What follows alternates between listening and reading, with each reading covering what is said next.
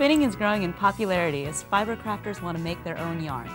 All it takes is some fluff, a spindle or wheel, and a little practice.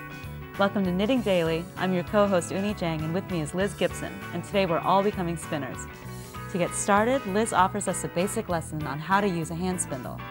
But this is no ordinary spindle, it's made from a CD. And in our designer spotlight, author Abby Franquemont takes us one step further and shows us how to use the hand spindle to spin self-striping sock yarns from hand-painted fibers. And then Liz returns with another unique spin on making yarns. She demonstrates spinning techniques applied to commercial yarns to make them uniquely your own. And finally, Shay joins me for the last lesson in our Knit Along project, the Ivy League vest pattern. Learn about steeking and some no-fuss finishing techniques.